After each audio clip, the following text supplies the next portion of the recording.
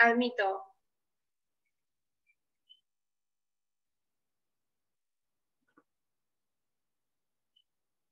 Sí.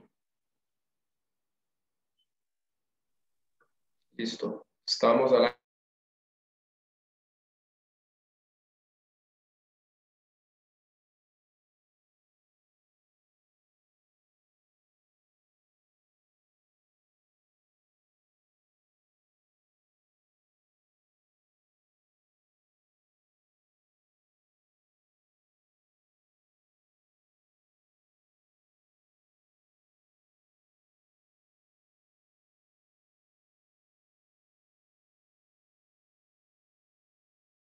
¿Podemos iniciar la sesión?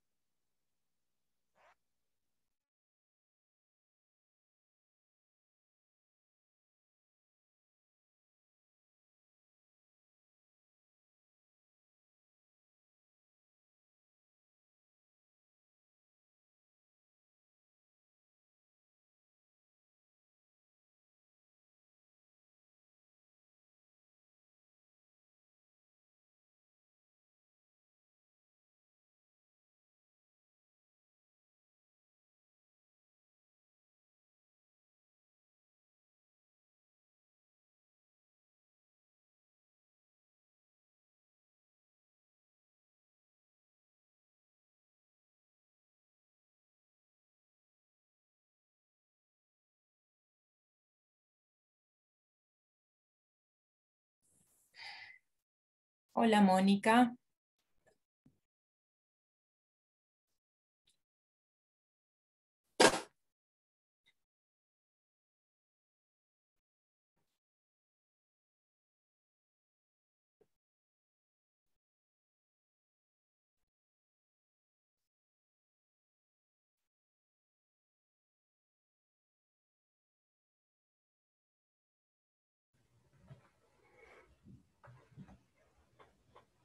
Bueno, buenas tardes a todos y todas. Este, gracias por estar presente.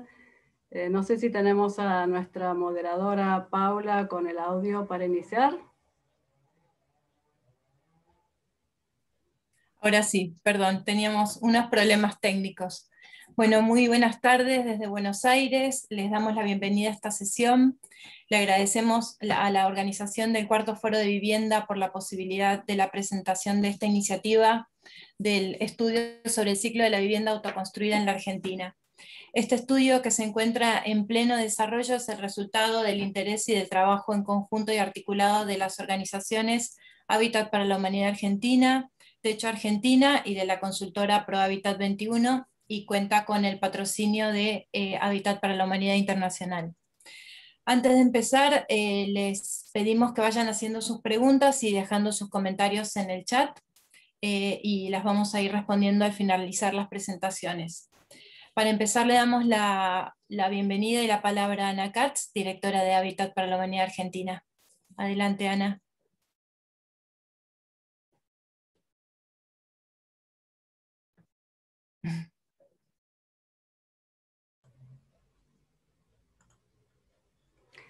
Muchas gracias, eh, Paula. Bueno, buenas tardes a todos y todas nuevamente. Un gusto estar aquí en esta mesa eh, hoy en día eh, junto a mis compañeros de Techo y Pro Habitat 21. Hemos escuchado mucho en este foro de lo que tiene que ver con la autoconstrucción de las viviendas o la producción social del hábitat esta forma de construir en nuestra región, que significa la mayoría de las viviendas que se construyen, es decir, que más que el sector privado o el sector público, son las familias mismas las que están autoconstruyendo sus viviendas. Y hemos escuchado también muchas estadísticas, eh, vamos a seguir escuchando hoy con Virgilio más estadísticas sobre lo que es la situación en estos barrios autoconstruidos por las familias. Información muy importante para entender cómo están las situaciones, las falencias, la falta de infraestructura, el hacinamiento y otros factores que tienen que ver con la pobreza o contexto de pobreza en alguno de estos barrios. Y esto nos da una foto muy importante, información eh, crítica para poder pensar nuestras políticas y nuestros proyectos de vivienda. Pero tal vez hay otra información desde otro ángulo, que es lo que vamos a estar compartiendo hoy de un estudio que estamos encarando estas tres organizaciones para buscar información desde otro ángulo.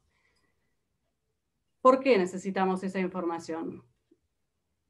Desde nuestros casi 20 años ayudando a familias que autoconstruyen eh, sus viviendas desde Hábitat para la Humanidad en Argentina, hemos visto la importancia de entender cuál es la lógica, por qué y cómo construyen las familias sus viviendas les doy un par de ejemplos. Nosotros empezamos trabajando en un barrio, en un asentamiento en la zona de La Matanza hace muchos años, en donde veíamos era un asentamiento muy ordenado, con parcelas eh, divididas muy, muy ordenadamente, en donde las familias construían sus viviendas, no eran viviendas, sus construcciones al fondo del lote.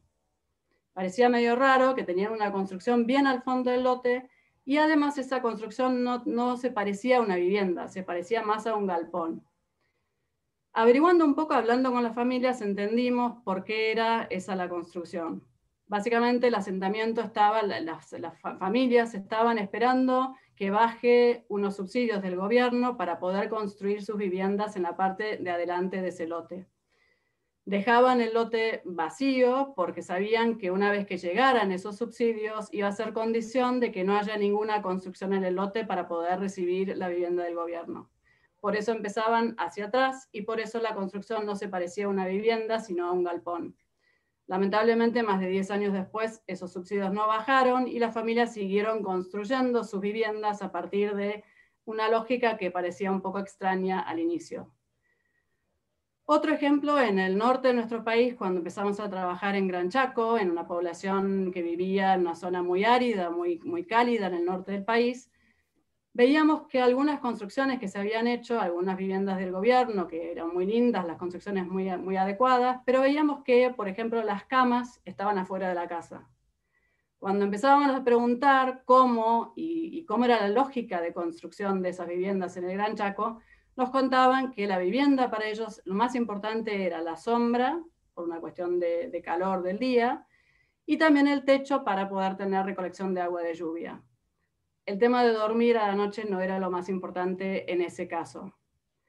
Estos ejemplos muestran un poco el porqué de la importancia de entender cuál es la lógica del proceso de autoconstrucción. Desde Hábitat la Argentina, en nuestros casi 20 años, hemos llegado a más de 2.000 soluciones habitacionales. Pero eso es una gota en el océano de una, de una necesidad habitacional de más de 3 millones de familias en nuestro país.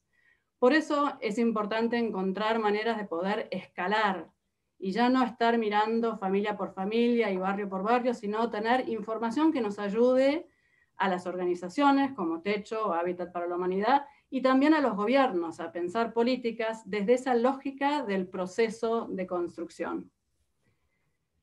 Y creo que vale, decir que eh, en esta situación que vivimos hoy de pandemia, seguramente van a haber algunas lógicas que incluso van a estar afectadas por esta situación actual. Las familias hoy en los barrios siguen construyendo a pesar de la pandemia y sus lógicas y maneras y formas y decisiones seguramente están variando también por esta situación de pandemia. Quiero mencionar para finalizar que eh, nosotros nos inspiramos en una experiencia que tuvo Hábitat para la Humanidad en Perú y agradecemos mucho a, quienes hicieron esa primera experiencia en Perú para entender la lógica de este proceso de autoconstrucción. En esa experiencia, donde trabajaron en la zona de San Juan Lurigancho, pudieron detectar unas siete etapas a lo largo de un proceso que llevaba aproximadamente 30 años. Y ellos pudieron determinar siete etapas. Pero quizás más importante que eso aún es que detectaron los actores principales en ese proceso, en las decisiones que toma la familia, en cómo las toma, habían tres actores principales en ese contexto. En su caso, la junta vecinal, los albaniles y las ferreterías. Es ese tipo de información que nosotros estamos buscando a través de un estudio que ahora podemos eh, iniciar gracias a un financiamiento y acompañamiento de la Oficina Internacional de Hábitat para la Humanidad Latinoamérica y Caribe. Y para cerrar, la importancia de que esto lo estamos haciendo desde esta alianza de dos de las organizaciones principales de vivienda en la región, como lo son Techo y Hábitat para la Humanidad, junto a una consultora como lo es ProHabitat 21, con toda su experiencia en esta temática, incluso desde el gobierno. Creo que esto es lo que necesitamos, estas alianzas de actores claves en el sector para poder llegar a esa información, e insisto, información que necesitamos, las organizaciones de vivienda y los gobiernos, para que nuestros programas sean más relevantes, más oportunas y más escalables en esta necesidad tan importante que hay en nuestro país. Muchas gracias. Muchas gracias, Ana. Ahora le damos la palabra a Virgilio Gregorini, presidente de Techo Argentina y de la Fábrica Social de Techo. Adelante, Virgilio. Hola, buenas tardes a todas y a todos. Es un gusto enorme estar acá. Em, y por esta razón, ¿no? por, estar haciendo este estudio que hace tanto falta en, en la región. Así que ojalá esto sea un punto de partida para el país y para otros países, porque la verdad que hace falta información para que los gobiernos tomen políticas públicas eh, de manera adecuada. ¿no? Nuestros gobiernos están improvisando hace muchos años y es el rol de las organizaciones, por eso un gustazo por estar trabajando esto con, con la organización referente también para nosotros. Nosotros somos una organización muy joven y siempre vimos a Habitat por Humanidad como un referente y hoy poder estar haciendo esto juntos nos llena orgullo. Em, bien, ¿de dónde venimos? Y me, toca contarles un poquito em, el problema, el contexto del problema y en la imagen que ven en pantalla es un poco lo que explica la vinculación de muchos de nosotros que hemos nacido en asentamientos con los barrios populares, los asentamientos, en esa, en esa conexión de vecinos con, con, voluntarios y voluntarias. ¿no? Y ahí empezamos a entender la problemática que como la mayoría de ustedes seguro sabrán, no es de vivienda, ¿no? es mucho más profunda, es de hábitat, que significa que son muchas más variables. ¿no? Eh, y nosotros creemos que es el ámbito de trabajo nuestro. Eh, que el asentamiento expresa sin dudas la, mayor, esta desigualdad de pobreza profunda que tiene nuestro continente y que nos diferencia lamentablemente y nos destaca. Eh, la mayor expresión de esta desigualdad y esta pobreza son los asentamientos, ¿no? lugares en los cuales las familias habitan eh, con inseguridad en la tenencia y, sin servicios básicos, ¿no? información que vale decir que es poco conocida en nuestros países. ¿no? Eh, hay pocos países, ahora les contaré algún dato de Argentina, que, que hemos generado desde el techo, pero toda esta expresión eh, de los barrios populares no se conoce eh, y que tiene muchas caras, ¿no? Tiene caras de la, planificación, de la mala planificación territorial, de los problemas ambientales, que suelen ser los que, los, que más sufren los barrios populares, que muchas veces eh, se asientan en lugares que, que, sufren estos problemas ambientales, lugares que son inseguros para quienes los habitan, ¿no? en, un montón de lugares que nadie elegiría para ir a habitar, como lo que se viendo en la imagen, y estos son los asentamientos, los barrios populares, las favelas, em, em, los campamentos de, nuestro, nuestro continente, que como les decía, expresan esta desigualdad. Hay un par de imágenes de, Argentina, muy íconos, ¿no? esta es la Villa 31 en la Ciudad de Buenos Aires, eh, esto es Rosario, ¿no? esto es la expresión que se repite en cada uno de los rincones de nuestro continente. Como les decía, falta de acceso a servicios, eh, que ahora les mostraré algunos datitos, porque no había información, ¿no? y estos son personas, personas de carne y hueso que habitan estas condiciones. ¿Y cuál es el tamaño del problema? No se sabe, a nivel Latinoamérica se estima, hay estimaciones, a nivel Argentina ya tenemos un dato mayor que hemos generado, al menos hay 4.500 asentamientos, al menos 4 millones de argentinos y argentinas viven eh, en lugares como les mostraron las imágenes, si fuera una provincia en población sería la segunda de Argentina, la segunda provincia, si uno agrupara a todas las familias que habitan asentamientos, significaría la segunda provincia de Argentina, para darse una idea de la magnitud que tiene el, que tiene el tema.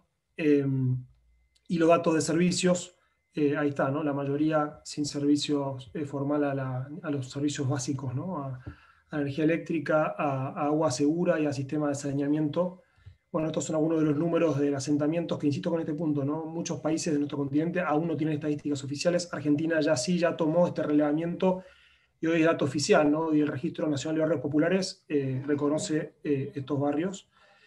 Y para completar, por ahí un dato del déficit de vivienda, que tiene que ver un poco con lo que el proyecto va, a estudiar, eh, números que por ahí también se conocen, pero en Argentina hace al menos 1.600.000 de déficit cuantitativo, significa que son viviendas que hace falta hacer nuevas porque faltan o porque están a niveles irrecuperables, y 2.2 millones de viviendas a mejorar. Acá es importante porque muchos gobiernos también siguen creyendo que se resuelve el tema solo construyendo viviendas y hay muchas viviendas que requieren ser mejoradas y en parte el estudio va a buscar entender esto para dejar de tener solo intuiciones y poder desde ahí tener buena política pública.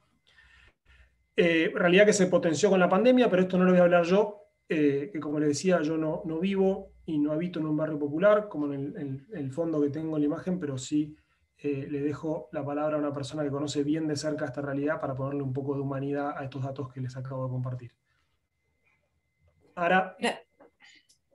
Gracias, Virgilio. Ahora la presentamos Sara. Eh, Araceli Ledesma, referente del barrio Lago Marcino, provincia de Buenos Aires. Es integrante de la Comisión Directiva de Techo Argentina, participante de la Mesa Nacional de Barrios Populares y promotora de integración urbana RENAVAP. Adelante, Ara. Hola, buenas tardes a todos y todas. Es un placer para mí estar en este espacio y, anteceder a todos esos datos y números que, Virgilio acaba de presentar. Y em, son datos eh, que son importantes ¿no? para llevar una estadística, pero lo que vivimos nosotros desde los barrios y lo que estamos sufriendo, y más aún eh, en todos estos años que ustedes contaron, cuánto más aún se acrecentó en la pandemia, ¿no?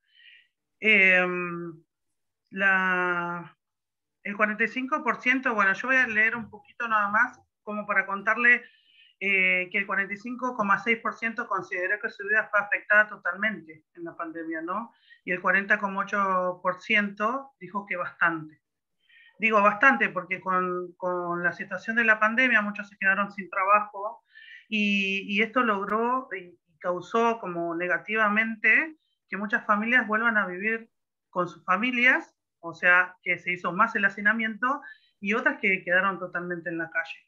Eh, solo el 46% pudo seguir trabajando. Entonces, imagínense eh, cuánto afectó la, calidad de vida de las personas. Y en cuanto a vivienda, dice que el 39,9% cree que totalmente fue afectada la situación de vivir en su casa, ¿no? Se les hizo mucho más difícil enfrentar eh, esta pandemia tan, tan difícil y tan arrolladora. mientras que el 19,1% consideró que mucho o bastante, ¿sí?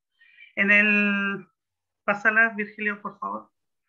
El 94% de los barrios populares eh, que participaron en este relevamiento se organizaron de alguna forma. Y ahí es donde yo quiero poner el énfasis ahora, más allá de los números y las estadísticas, es que cómo las familias en los barrios populares, en los asentamientos, se les ingenian igualmente para poder sobrevivir eh, aún más con la pandemia. Eh, familias que como nosotros somos muy estigmatizados, pensamos que vivimos de arriba, eh, muchos dicen viven de arriba, quieren todo gratis, sin embargo, vivir en la irregularidad, en, los vecinos y vecinas gastamos mucho más dinero. Nosotros tenemos que acarrear agua de algún punto, eh, nosotros tenemos que comprar caños, muchos metros de caños para poder traer de alguna conexión que esté más cerca, los que pueden llegar a tenerla, y eh, también cables y cables que a veces tenemos que comprar para poder tener nuestra luz. Y imagínense que también el agua de pozo que nosotros tomamos, la pandemia nos decía lavémonos las manos y lavarse las manos con agua sucia o agua contaminada no tiene ningún sentido, ¿no?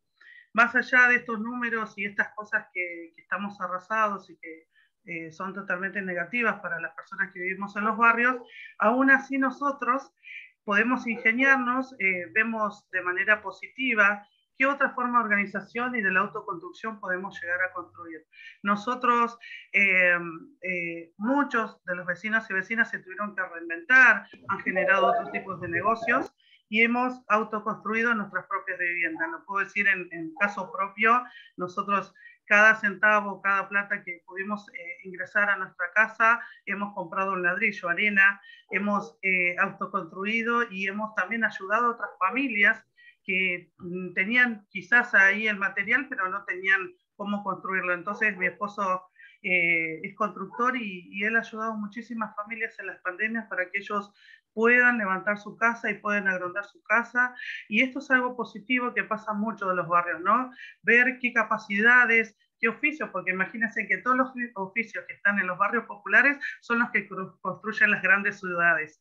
Los albañiles, electricistas, eh, plomeros, todos salen de los barrios populares. Las grandes capacidades que hay de autoconstrucción son muchísimas, así que a mí me gustaría poder eh, resaltar esas capacidades que hay en los barrios, esas ganas de poder juntarse con el otro y preguntarle al otro qué le hace falta, es una de las cosas que más positivamente nos llevamos de esta pandemia tan arrasadora. Muchas gracias, Sara. Eh, por último, le vamos a dar la palabra a Agustín Pascual Sanz, eh, socio de ProHabitat 21. Les recordamos dejar sus preguntas en el chat. Adelante, Agustín. ¿Qué tal? Buenas tardes a todas y todos. Y bueno, me toca a mí contar por ahí en más detalle de qué se trata esta investigación piloto que estamos llevando adelante y que eh, tiene que ver con algunas de las cuestiones que plantearon los tres, ¿no? tanto Virgilio, Ana como recién Araceli, pero y también tiene que ver con la falta de información respecto a eh, cómo las grandes mayorías digamos, de hogares de la Argentina, eh, resuelve su problema habitacional. Más allá de eh, los datos estadísticos que nosotros también en este trabajo estamos manejando, en este caso eh, datos de la encuesta permanente de hogares, que nos muestran una foto de la situación, el grado de insuficiencia respecto a calidad de materiales, de las características de los baños, de las cocinas. Pongo simplemente a modo de ejemplo todos los datos sobre los que son líneas de base para nosotros. Este, nos lleva a pensar otro tipo de información que es absolutamente necesaria y que es escasamente relevada. Y, esta información necesaria surge en base a muchas preguntas que nos hacemos. Por ejemplo, ¿cuáles son, ¿cuál es la secuencia de decisiones que las familias toman en la autoconstrucción de la vivienda a lo largo de ese largo eh, periodo de autoconstrucción? Teniendo una mirada de género, ¿cuál es el rol de las mujeres? Que es importantísimo, lo estamos este, eh, viendo en el día a día ahora que estamos haciendo los relevamientos.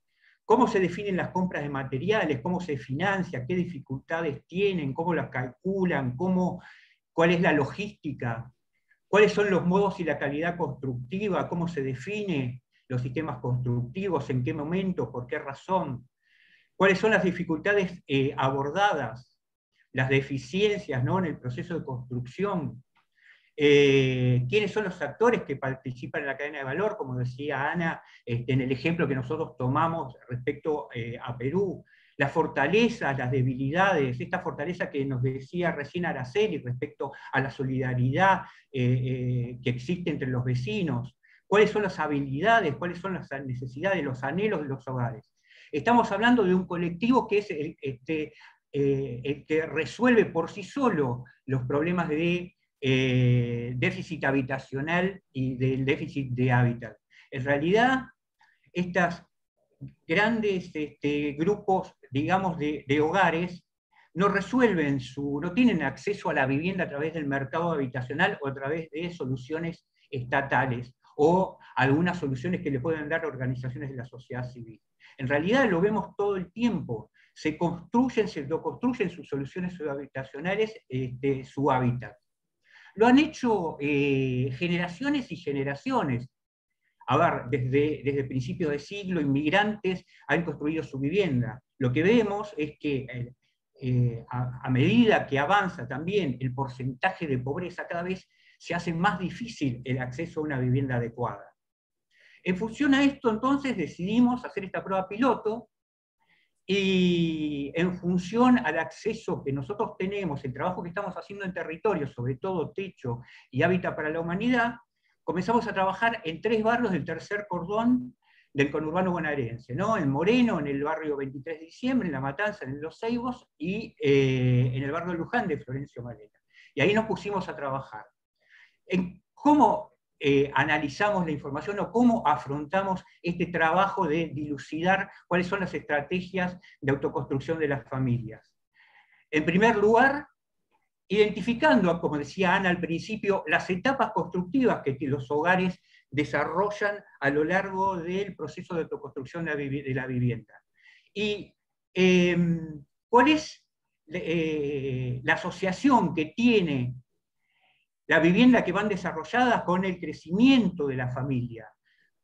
Tratamos de entender si existe un proyecto previo o el proyecto se, se va dando a medida que las familias van creciendo, o si tiene que ver con la disponibilidad de financiamiento, entender cuáles son los recursos que disponen, dónde los obtienen, cómo los administran, si tienen asistencia técnica o no, cuáles son eh, las habilidades constructivas que tienen los hogares, dónde están sus fortalezas, cuáles son sus debilidades, en qué rubro constructivo tienen fortalezas, cuándo comienzan sus problemas, em, de dónde tienen los recursos, qué acceso a los mercados formales de financiamiento hay, sabemos que escasos, pero sí, qué porcentaje acceden, quiénes no, en qué condiciones, eh, qué recursos del Estado utilizan y en qué momento para eh, aplicar, digamos, al desarrollo de la vivienda. ¿Qué les gustaría tener? ¿Qué, ¿Cuáles son sus anhelos? ¿Cuáles este, son las deficiencias que tienen, las pérdidas de materiales, los recursos perdidos por no este, contar con asistencia técnica? Bueno, estos son una multiplicidad de, datos que buscamos dentro de una historia que nos cuenta el hogar. Porque esto más que ser datos cuantitativos respecto a cómo construyen su vivienda dentro de un proceso constructivo, nos interesa también las historias de la gente que tienen que ver con estos eh, vínculos de solidaridad tienen en los barrios, cómo se construyen los barrios, a partir de qué información, cómo se replican constructivamente, digamos, sus historias, sus experiencias, cuáles son las fortalezas respecto a esas historias, y si hay diferencias respecto a los conocimientos de acuerdo a la procedencia de las familias, ya sea que sean familias que vienen de determinado país vecino o no, y si esto es, genera, digamos, una fortaleza o, o una debilidad. Todo esto, ¿por qué lo hacemos? En principio, para tener una metodología que nos pueda servir de aquí en adelante para escalar este trabajo que estamos haciendo, porque realmente los trabajos que se hicieron en la Argentina en este sentido son absolutamente limitados y escasos. Eh, y entonces, disponer de una metodología adecuada, con herramientas adecuadas para poder escalarlo y hacerlo, si es posible, en toda la Argentina.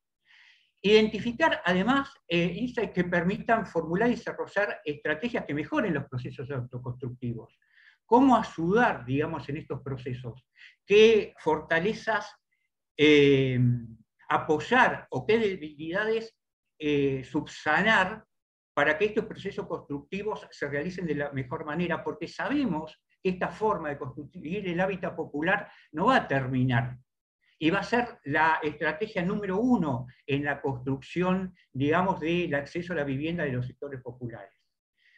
También lo hacemos para poder luego difundir hallazgos, proponer alianzas que impliquen el acceso a mejores recursos para construirse una vivienda adecuada y generar conocimientos que permitan diseñar programas. Esto que decía Virgilio en algún momento, generar mejores políticas públicas.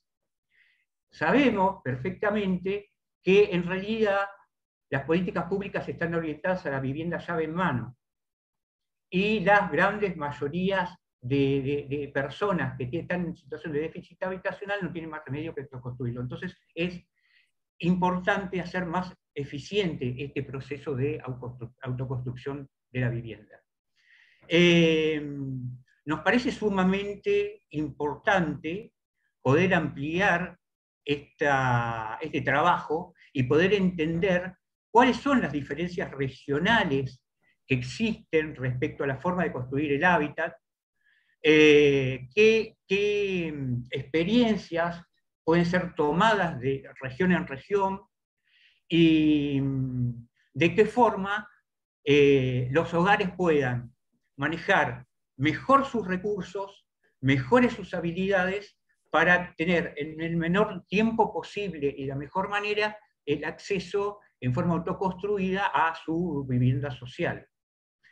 En los trabajos que venimos desarrollando, la verdad que estamos aprendiendo cosas que, no esperábamos encontrar respecto a las estrategias, como lo que contaba Ana respecto de por qué eh, comienzan a construir en el fondo de la casa. Experiencias tales como cómo construyen el barrio desde cero, cómo en realidad no solamente están construyendo su vivienda, sino están generando una urbanización. ¿Por qué los procesos de urbanización se generan de esta manera? ¿En qué momento se dispone de las infraestructuras? Eh, cómo hacen muchos, muchas comunidades para en forma cooperativa eh, hacerse de las infraestructuras que nos llegan a través del Estado. Bueno, todos estos son preguntas que intentamos que con esta prueba piloto tener una metodología y tener información que nos permita a futuro generar mejores políticas públicas, ya sea para ser encaradas desde lo público, desde las organizaciones sociales, o, ¿por qué no?, eh, en virtud de alianzas público-privadas y con apoyo del sector privado que también se verían beneficiados, como por ejemplo eh, los sectores productores de insumos para la vivienda, que podrían con seguridad tener más eficacia respecto a sus productos si fuesen, tuviesen una mejor aplicación en el territorio. Bueno, en forma concentrada creo que esto es lo que estamos buscando, así que gracias y nada, abierto a las preguntas que se puedan dar. Muchas, gracias. gracias. Agustín. Em, ahora vamos a pasar a las preguntas. Em, una de ellas era, eh, la pregunta es si además de, este piloto se está planificando hacer un estudio con alcance nacional. Es para, mí. No sé, ahí, eh, si quieren eh, cualquiera de los cuatro contestar, no hay ningún problema. Hagamos como un conversatorio. Fue algo que me quedó pendiente de lo que dije al principio, así que muchas gracias por la pregunta. Eh, justamente este es un, piloto muy pequeño por una cuestión de financiamiento y estamos arrancando en esos barrios que decía Agustín. Eh, sabemos que en realidad necesitamos un estudio a nivel país, eh, barrios por barrios, regiones por regiones, que en cada región y en cada barrio hay particularidades distintas. Entonces estamos buscando y esperamos motivar a financiadores a seguir eh, pudiendo, haciendo posible que este piloto se pueda extender a otras regiones del país y ojalá también de la región. Bien. Eh, después había una pregunta, pero la contestó Agustín sobre el final de su charla, era qué tipos de cambios se proyectan que podrían abordarse después de la identificación de oportunidades. Mencionaste algo relacionado con los sistemas de, mercado, ¿no es cierto? Con intervenciones de mercado que permitan eh, generar mejoras. Eh, otra pregunta para Virgilio, ¿qué antigüedad tienen en general los asentamientos del RENAVAP? Sí, ahí comenté, es, eh, aproximadamente, em, va cambiando también con, los años, 2016 fue el dato, 35 años de los asentamientos que todavía están como asentamientos, ¿no? Eso, pero eso es, profundo la, antigüedad, lo que denota que no es algo coyuntural, ¿no? Y que han pasado gobiernos de todo tipo y en todos nuestros países, en Latinoamérica y el Caribe, y el problema persiste, ¿no? Bien. Em, otra pregunta dice, considerando la gran cantidad de materiales que se compran para llevar adelante estos procesos, ¿saben si las empresas del sector de la construcción son conscientes de esta situación y están haciendo algo al respecto? ¿Estaba relacionado con la anterior? Es otra manera de formularlo. Y comento yo que, tenemos diálogo eh, con varias de ellas. Hay, intereses em, en ampliar, digamos, en llevar, en ampliar su base de clientes y con interés genuino de que haya impacto social, nuestro rol será, eh, junto con Hábitat, las organizaciones, bueno, velar para que los negocios lleguen de manera justa, ¿no? Pero sí están en varias empresas mirando, eh, saben que, los sectores populares consumen eh, sus productos y están en muchos casos genuinamente interesados en mejorar los productos técnica y, también la, la, logística y la forma financiera a la cual acceden, ¿no? Entonces, vamos a intentar trabajar articuladamente y ojalá también de, esos actores surja el financiamiento para, para ampliar este estudio, ¿no? porque la, información, conocer, de una manera es una forma de conocer a, cómo, los clientes se comportan, ¿no? Digamos, eh, comprando sus productos, porque hoy un vecino va a un corralón del barrio y está comprando productos que, alguien eh, fabrica, ¿no? más allá de algunos materiales que a veces la estrategia es materiales locales, pero en general eh, los barrios también así de las ciudades, la, gente compra materiales de alguna empresa que lo vende vía algún distribuidor. Sí, este, agrego a eso, a lo que dice Virgilio, que nosotros también trabajamos en Habitat Promonia Argentina con apoyo de distintas empresas de materiales de construcción de distinta manera, muchas veces apoyando nuestros proyectos entendiendo que existe esta necesidad.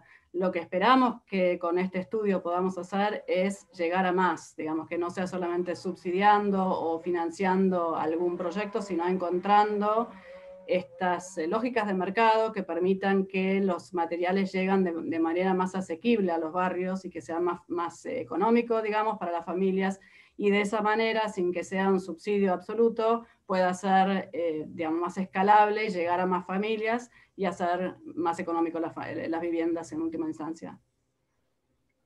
Muy bien. Un, un eh, perdón.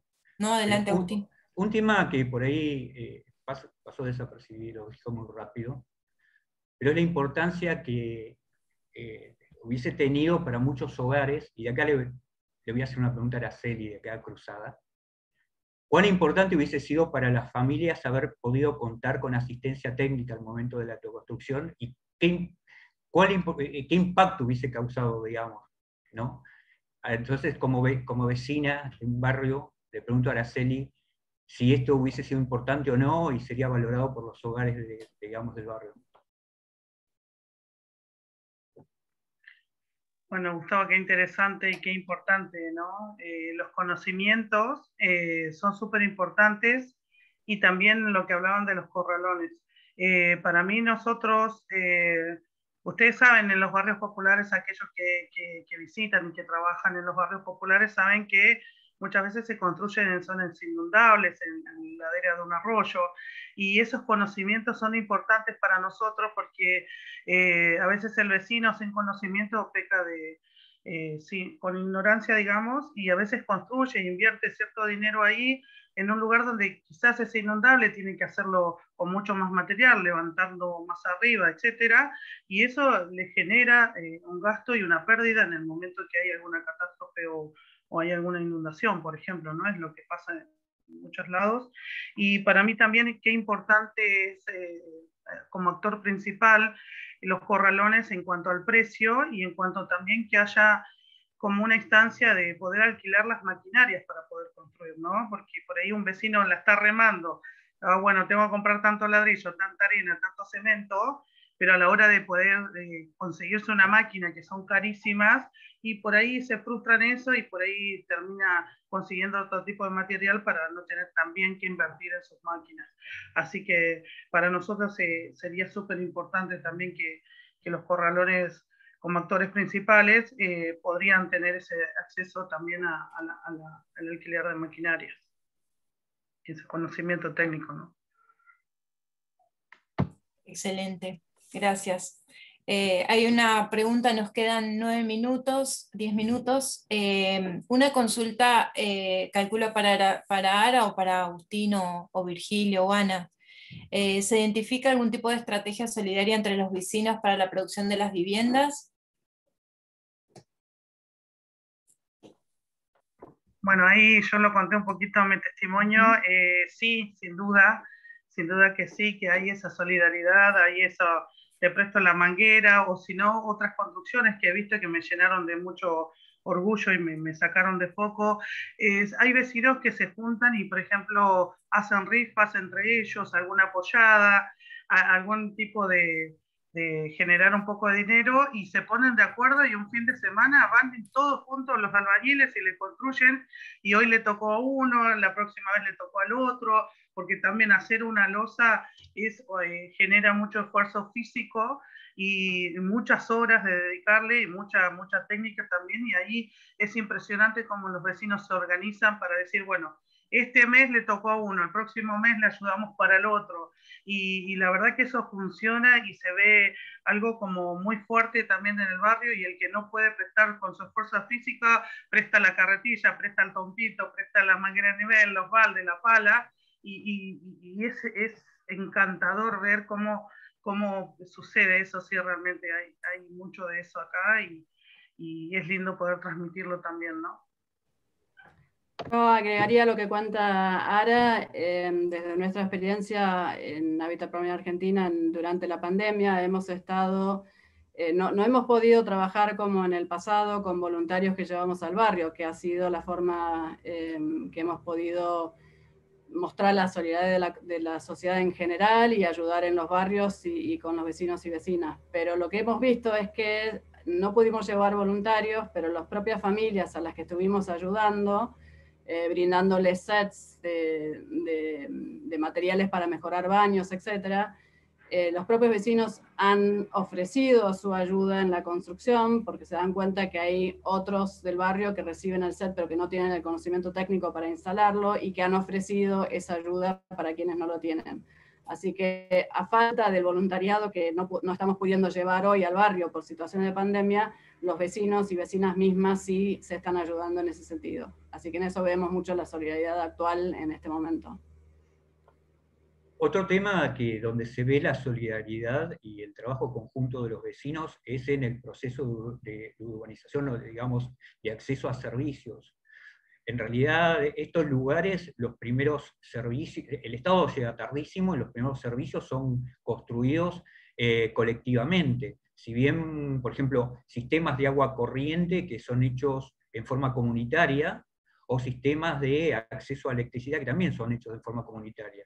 Entonces, los vecinos, en general, tienen agua, tienen luz, no son, no son servicios formales, pero todo este acceso a estos servicios eh, son hechos en general con el esfuerzo propio de los vecinos.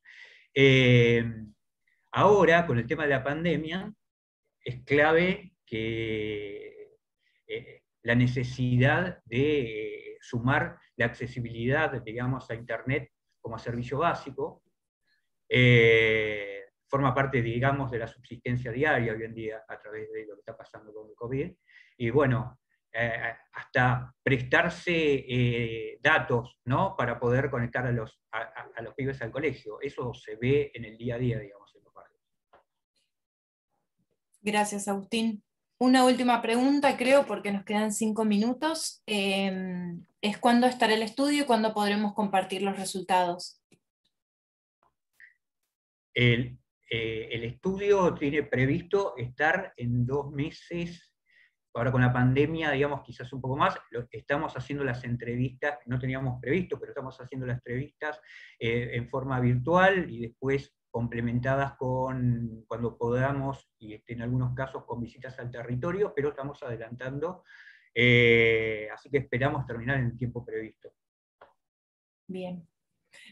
Bueno, y una última pregunta eh, es para Araceli. ¿Cuáles fueron los principales retos al ejecutar el proyecto? Nos imaginamos que se refieren a la construcción de tu vivienda. Bueno, justo ahí le estaba por escribir al chat, pero uno de los principales retos fue, bueno, algunas cuestiones de salud que hemos enfrentado y mm, después la falta de trabajo, ¿no? También que fue un poco intermitente. Esos fueron las mayores dificultades porque a veces hay que pensar si compro un ladrillo o compro una zapatilla, una ropa o algo que falte para comer. Creo que, que si tuviéramos más acceso a, a que bueno, la inflación nos va matando, o sea, día a día, eh, pero donde entra un mango de más, lo vuelvo a retirar, eh, el vecino invierte en un poco de material. Así que creo que esa, la situación actual, la economía, como venimos llevando, son los mayores desafíos. Y otra importante también es que a veces la transitabilidad en cada territorio también hace más complejo que te cobren un poquito más el camión a la hora de traerte los materiales. Eso también influye muchísimo. Bien. Bueno, muchísimas gracias eh, a todas y a todos. Voy a chequear que no tenemos más preguntas por ahora. Hay muchos comentarios en el chat. Em, para honrar el tiempo, nos quedan tres minutos. Les agradecemos a todas las personas que nos acompañaron y los invitamos a contactar a los y los expositores a través de la plataforma del foro y a continuar con las actividades. Muchísimas gracias. Muchas gracias, gracias por el interés y bueno, ya se enterarán de los resultados del estudio y, de los nuevos proyectos gracias a esos resultados. Muchas gracias. Gracias. Adiós, gracias. Gracias a todos y todas. Muy bien, esperemos eh, al hospedador. Muchas gracias a ustedes. Pasen feliz tarde. Gracias.